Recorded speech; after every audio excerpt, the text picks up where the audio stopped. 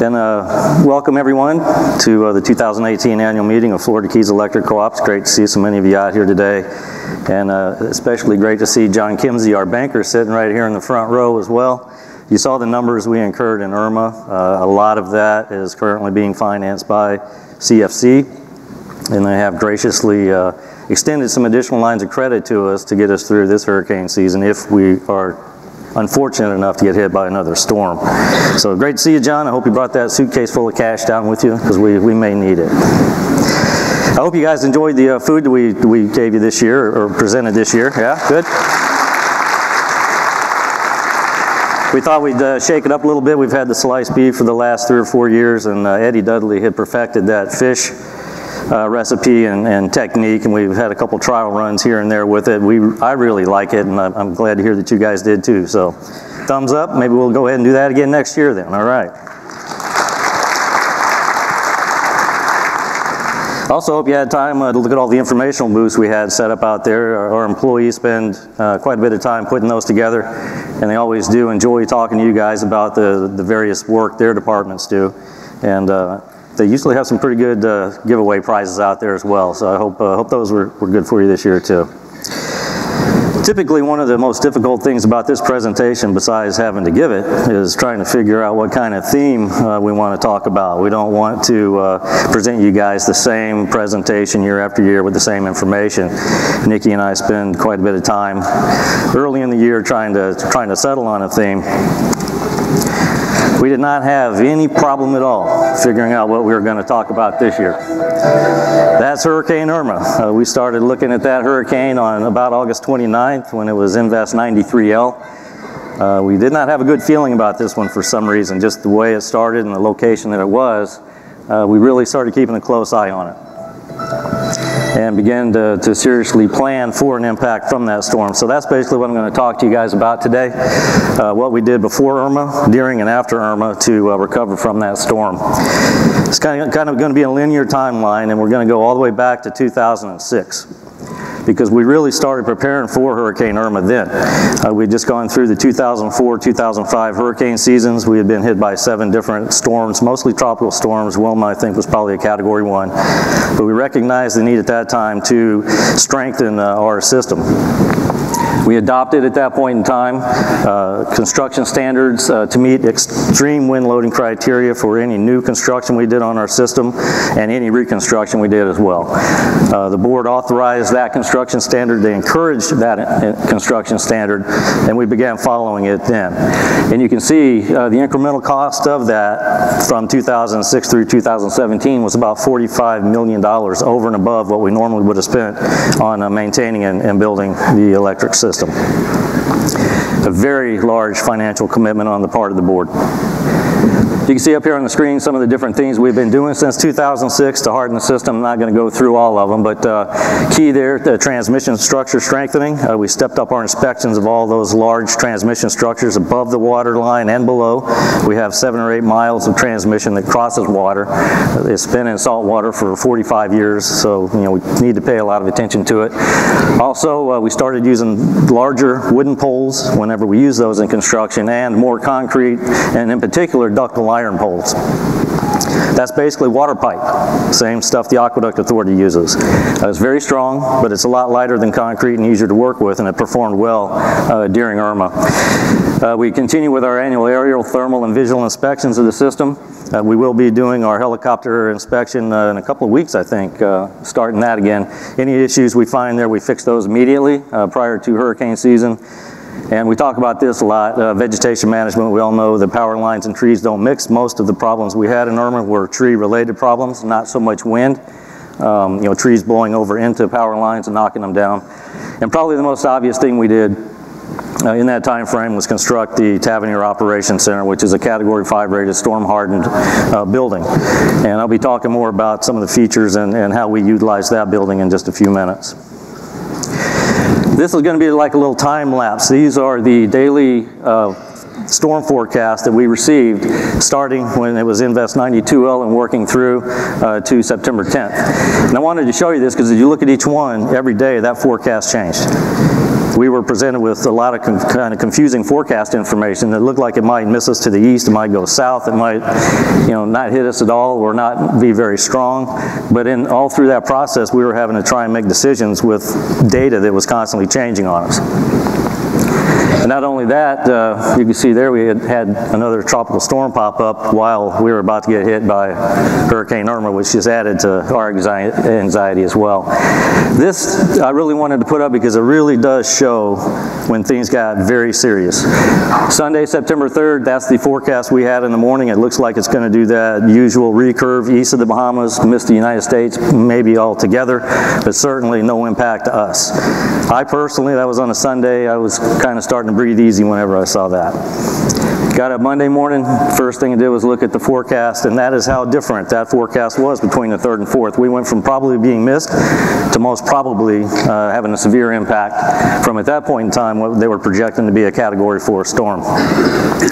So at this point I'm going to kind of walk you through each day uh, some of the critical decisions we made and, and things that we did uh, to get ready for Irma's impact on the 10th. But basically when we saw that forecast on the 4th, uh, we pretty well had an idea at that point in time that we would not be able to rely on our traditional cooperative mutual aid agreements to, to help recover from the storm. Our usual method is to prepare all our facilities for a storm if we think we're going to get hit, kind of hunker down, ride it out. When the storm passes, go out, take a look at the system, do a damage assessment, and figure out what assets we're going to need, how many contract crews or whatever we might need, and order them at that point in time to bring them in. We knew that wasn't going to work here because we had a good feeling the storm was probably going to run up the state. And we would not be able to get people after it hit because a lot of Florida utilities were going to be impacted as well. So at that point, we decided we couldn't wait uh, to reserve crews until after the storm passed. September 5th, again, uh, you know, we had a tropical storm pop up behind Irma out there. And again, we uh, are at this point kind of in the middle of the cone right there projected hit Middle Keys as uh, a Category 4, very strong Category 4 storm.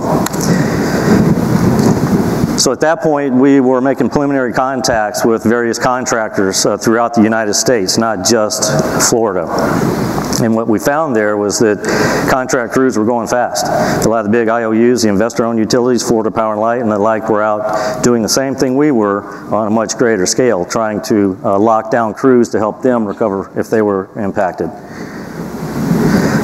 Wednesday, uh, we started thinking that it may shift a little west here. You can see, you know, yesterday's forecast was kind of Middle Keys. Now Key West was getting real concerned at this point.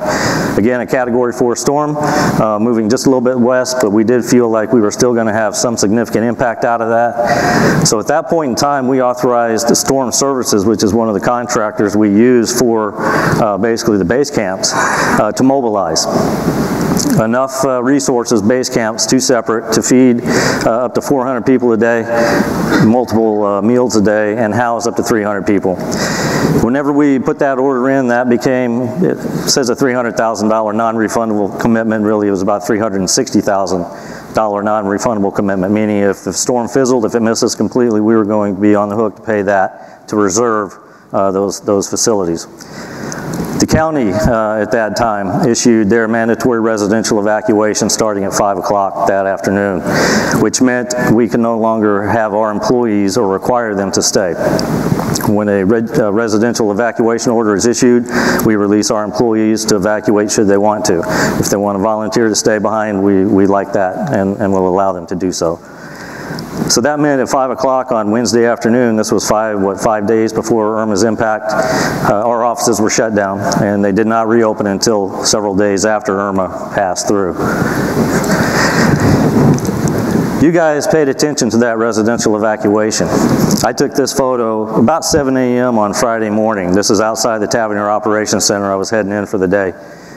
This is looking north on southbound lane of US 1. I'm standing in the middle of the highway in the morning rush hour and there's not a car in sight.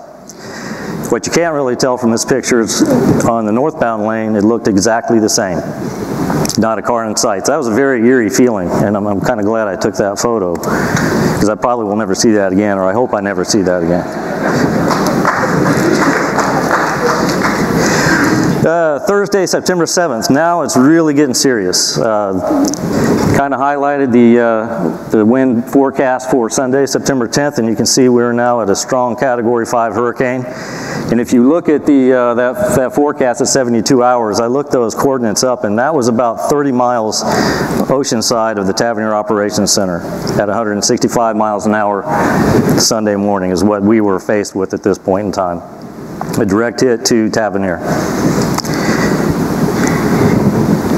So at that point, we had made basically our final decisions on uh, what kind of crews, the number of crews we were going to bring in. And that was one of the big discussions that John Stewart and I had, our chief operating officer and a couple of the operations guys, was just how many people did we think we could manage in a situation like this. It doesn't do any good to bring 5,000 people in to help you out if you can't get materials to them, supplies to them, fuel to them, and, and a way for them to work. So we figured somewhere around 350 to 400 people in addition to our own. We could manage that. We could get materials to them and, and work them effectively. So that, that was kind of what we had in mind at that point in time. Also of significance on the 7th, the last hospital in our service territory closed. Whenever that happens, we will no longer allow our crews to work any kind of dangerous work. If we can't provide critical care to them, we don't have them out working on energized lines or with dangerous equipment at all. So that meant at 7 p.m. we basically shut down completely. Uh, we could not respond to even routine outages. And again, this is two or three days before we started feeling the impact of Irma, and the co-op is basically shut down for all intents and purposes. Friday, it didn't get much better. Uh, as you see, it's still uh, 160 mile an hour wind forecast that we were looking at. The storm track did shift a little bit further southwest of us, more towards the Marathon area, where it ultimately impacted just uh, to the south of that. At that point, we had already ordered up 40 distribution line crews. Uh, we had five transmission crews that we were trying to order up. It took a couple of extra days to get those guys down, or, or ordered anyway. Uh, additional 20 tree trimming crews and uh, we, we were going to grab 12 damage assessment teams to help us assess the system after Irma hit. We authorized all those assets to begin moving to Florida ahead of the storm, and we say here that that was a daily six-figure commitment. Uh, it was a high six-figure commitment. Uh, whenever you have that many men, trucks, and equipment coming in, the minute they get in their trucks to head down here, we are employing them and we are paying them to come help us out. So uh, we went from $300,000, $360,000 commitment to close to a million dollars a day from this point moving forward. That's how you get to $20 million in, uh, in restoration cost. Significantly and surprisingly to me, 83 out of 115 employees evacuated. They were paying attention to these forecasts as well. Um, I'm glad they did. They, they should do that, but we had never, in the storms that we were faced with before, had that sort of uh, evacuation from our employees themselves.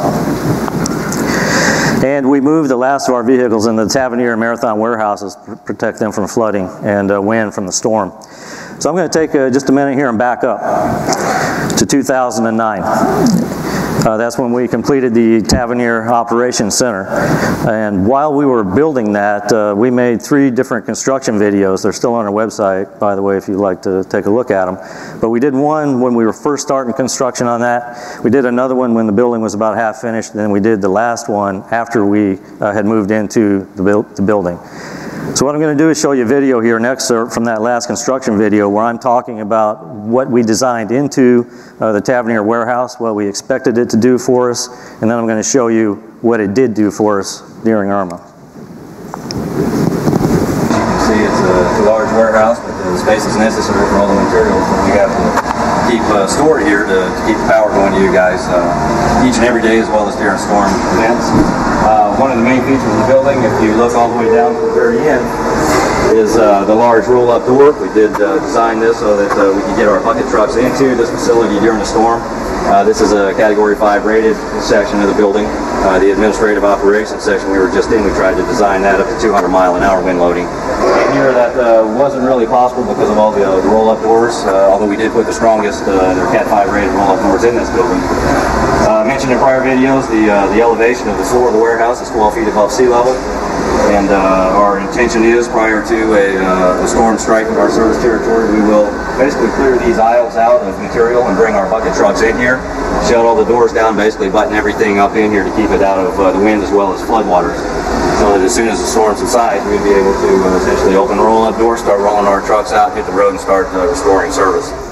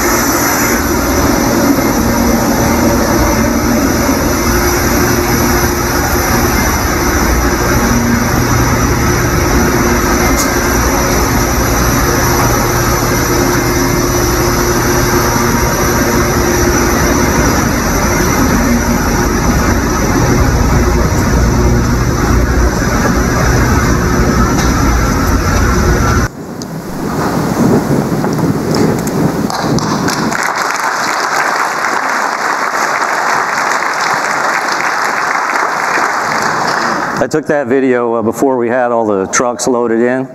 This is after they were all in and buttoned up, and you can see this is looking back from the direction I was walking, completely and totally full. And if you guys notice that large truck outside flying that large flag, it's in there at the end of that aisle. That's our high voltage transmission truck. So we got our biggest truck in there as well two things I noticed about that uh, that video. Number one, the building did just as we planned, and number two, my hair was a heck of a lot darker in 2009. but I got a little bit more than Doc does here, so so far so good. Uh, for a minute, while uh, we're talking about the Tavernier Operations Center, just kind of take you back. Uh, when we were thinking about building this building, we, we, we wanted something that was going to be very strong, a storm-hardened operations center. We wanted it to be very environmentally friendly and energy efficient. We wanted it to be able to operate in standalone mode, cut off from everything for 72 hours. We wanted it to be an attractive building. We didn't want a big ugly slab for you guys to have to look at all the time. I think personally that, that this building hits every single thing we asked for, and a lot of the credit of that goes to Mr. David Zelk, who is the architect of this building.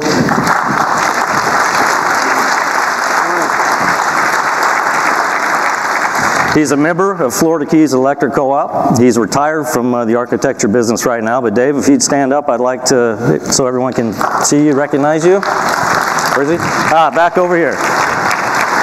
Big round of applause to David Zelk. Thank you, Dave.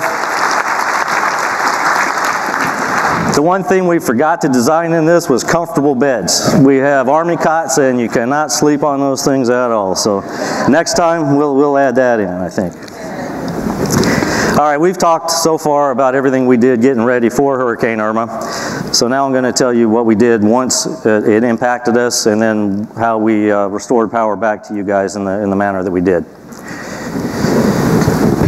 This is Irma on Sunday. I took this uh, from the office, my office window. Uh,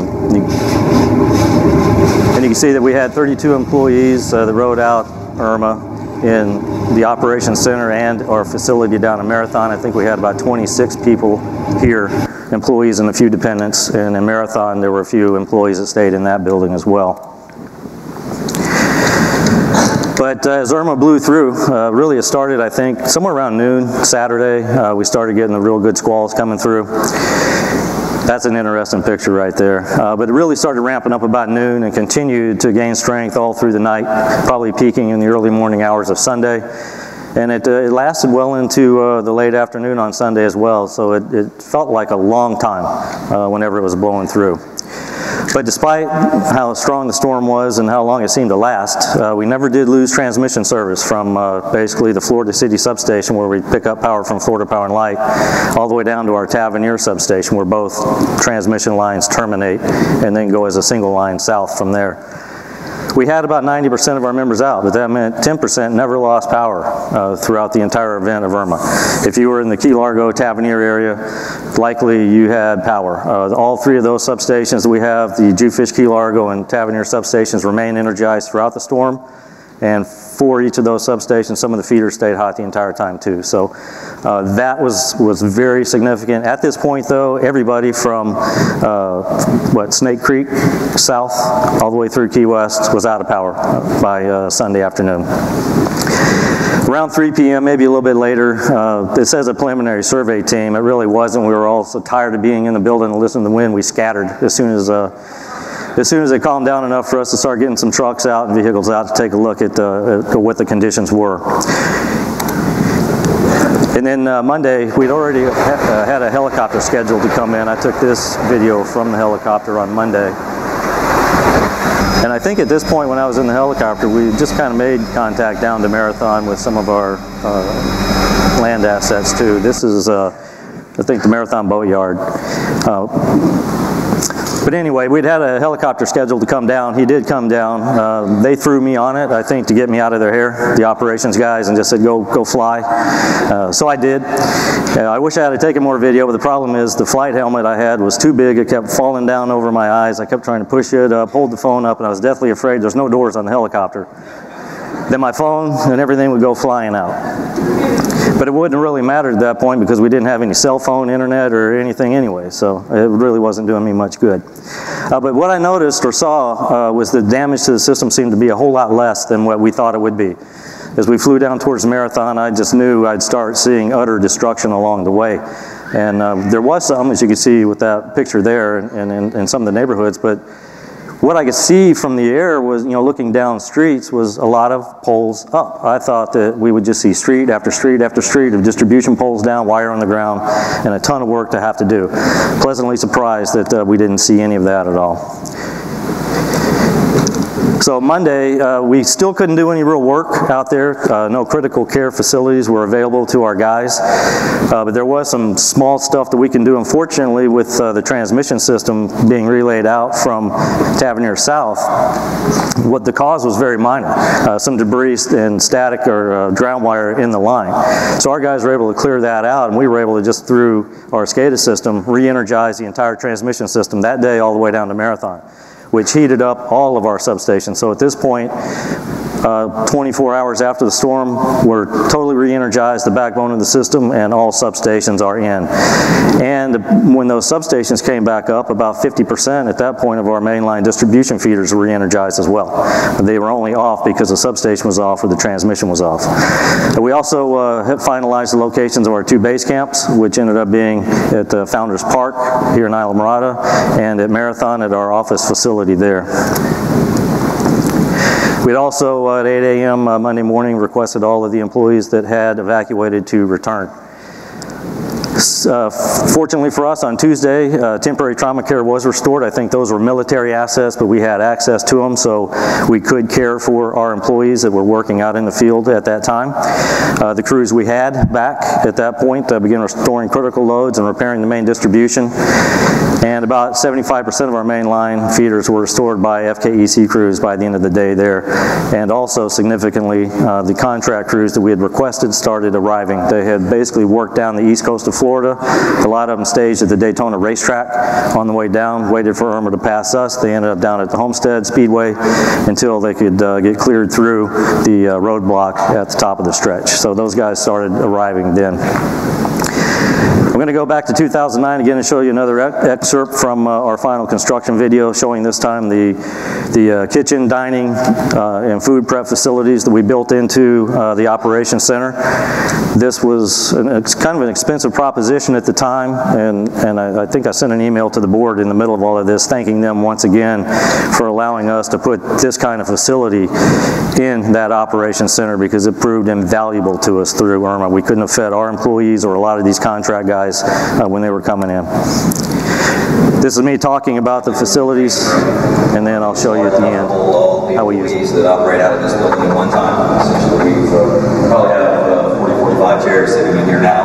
We can't fit 95 chairs, which is uh, more than sufficient. Uh, this area is also designed as a uh, essentially a cafeteria for storm uh, situations. I've discussed that in, in prior videos. You can see that we have our mobile serving line set up here at the, the end. It's our commercial kitchen. Again, this is the main storm uh, feature in the building itself. We hope to be able to feed our crews for 72 hours in a standalone home we've talked about in the past. This is actually the kitchen facility itself, a large ice maker, three, uh, three cookers down here.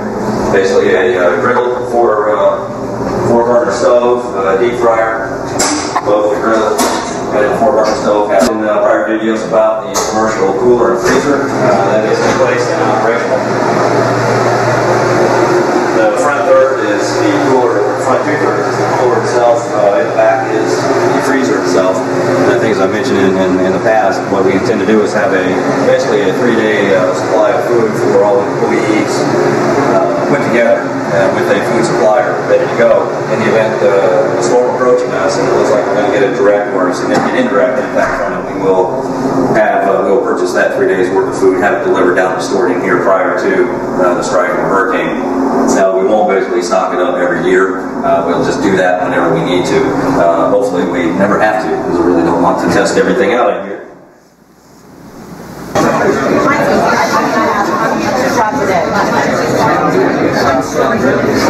bigger ones I have to. You've got the address down there, so I put the address on the. So there you go again. It did just what we wanted it to do, and it.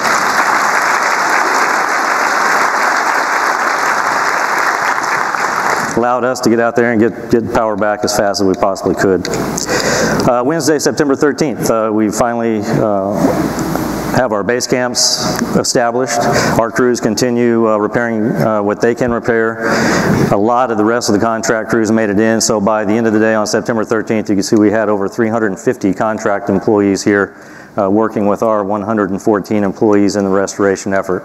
And I say 114 employees, I mean every single employee of Florida Keys Electric Co-op.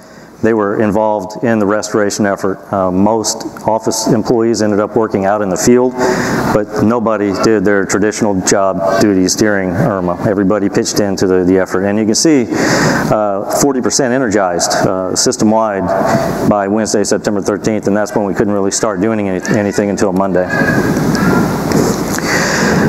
Base camp life. Uh, the Upper Keys base camp I mentioned was at uh, uh, the Founders Park, the other one in Marathon.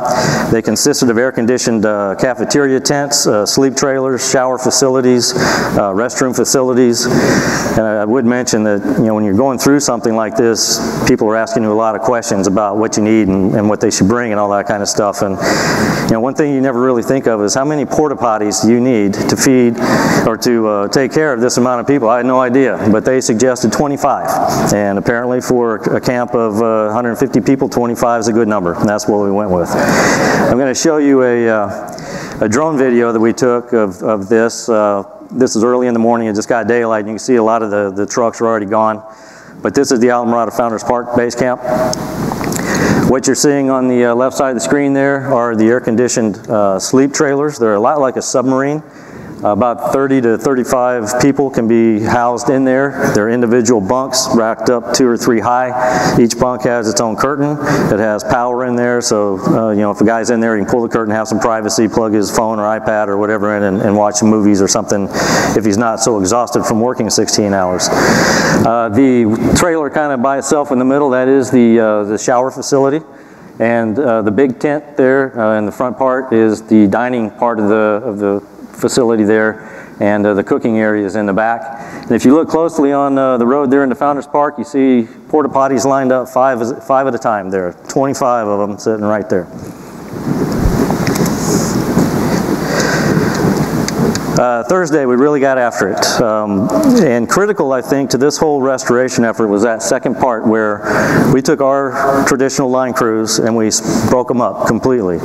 And we took every lineman we have and assigned to him two, three, maybe four contract crews and a tree crew. And we assigned each of those guys to a specific zone and asked them to repair power in that zone in the manner they thought most, most effective to get the most people on in the shortest amount of time. These linemen you see around here know this system better than anybody. And by putting them in charge of an area that they know well and having them direct outside crews that are a little unfamiliar to our territory, I think paid off big time. And the funny thing is that decision there was made after Irma.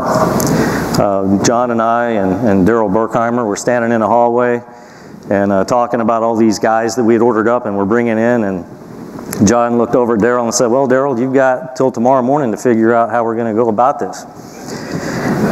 Daryl said, Yes, sir. And we didn't see him until the morning, and he came back with this idea, and we thought it would work really well. And, and uh, so, to Daryl, if you're out there, I'd like to thank you for that idea. He's right over there. But I think that really allowed us to effectively utilize all of those 350 contract guys that we had in here. We continue working uh, from dusk till dawn, basically, and, and uh, we put this in just to kind of show you the results of our restoration methodology. We talk about it a lot, that we work top down. Uh, we work to start at transmission level, working down to distribution, and we also do what we can to restore power in a way that is the easiest to do, that will get the most people on. At, you know, basically the biggest bang for the buck. We don't want to spend five guys' time hanging one transformer for five hours to put two houses on when 30,000 people are out of power. And you can see the results of that right here. On Wednesday, the system was 40% energized. One day later, it had, gone, it had gone from 40 to 70%. There was a lot of little things we could do that would bring on a lot of people. Now you see that it took us from Thursday to Sunday to get that next 10%. We're starting to get down into the weeds now where we're having to do, in cases, a lot of work to get a few on. From Sunday to Tuesday, we got to 98% energized, which is traditionally considered basically out of storm mode at that point in time. And by Saturday morning, the 23rd, we had, we had energized those final 2%. Uh, so within those few amount of days, we had 100% of the members able to receive power back in service. But we still have probably a few hundred to this day uh, that still don't have electricity. Their homes are too badly damaged to, to be able to power them up. They're going to be in the process of uh, rebuilding and repairing those. Final tally, uh, Cale mentioned the cost of that at, at uh, roughly $20 million. These were all the outside assistance crews we brought in. I've talked about them quite a bit. But this is the amount of what work was done. Uh, and significantly, you see 175 distribution poles had to be replaced. And I thought we'd be replacing hundreds, if not maybe thousands of distribution poles. I think that's a testament to the uh, pole inspection and replacement program we implemented back in 2006 with our, uh, our storm hardening efforts. We look at every single distribution pole in the system on a rotating rotating uh, seven-year basis, and any of them that are found to be in need of replacement are, are replaced. We worked on 1,200 distribution poles in addition to the 175 we replaced. Significantly, we did not replace any transmission poles. That was critical to us having that transmission re-energized within 24 hours of Irma. We worked on 150 uh, transmission poles. Uh, most of that probably was distribution work, though a lot of our uh, mainline feeders are built underneath the transmission on those same transmission poles. And we had to replace 1,100 services. Uh, that's the slow work. It may take an hour or two or three to replace uh, a service that gets one house back on. My most favorite statistic out of all of this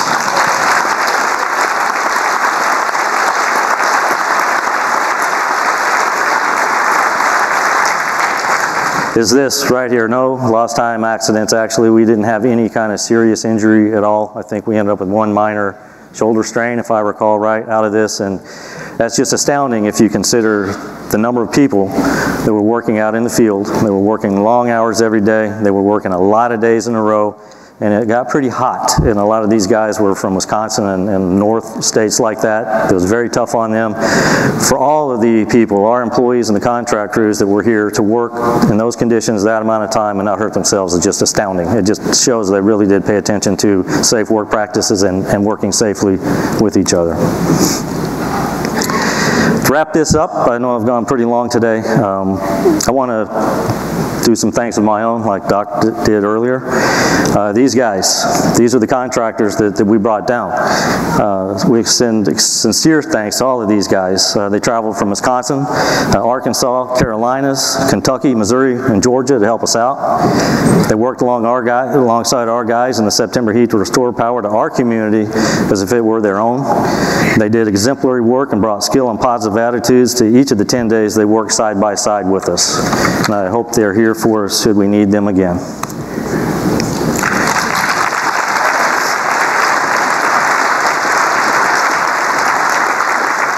I'd like to extend heartfelt thanks to these guys too, uh, the FKEC Board of Directors.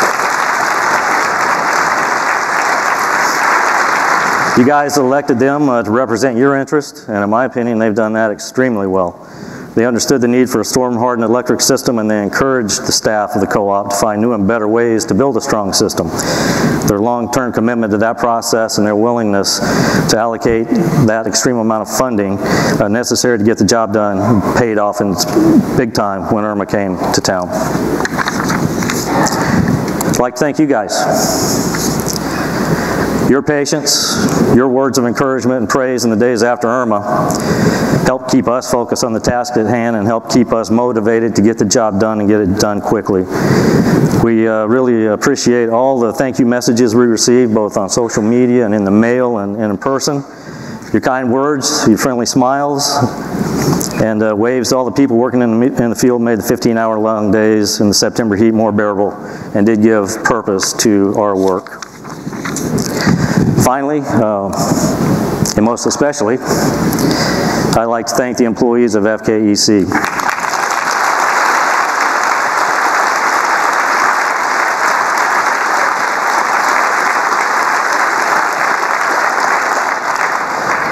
They all rose uh, to the challenge before, during, and after Hurricane Irma made landfall. They put their needs of the cooperative ahead of their own needs and the needs of their own families.